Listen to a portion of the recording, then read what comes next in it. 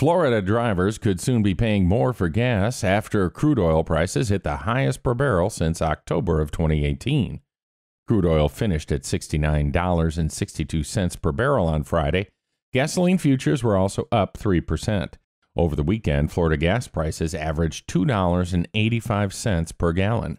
Geoff Petrulis for CBSMiami.com.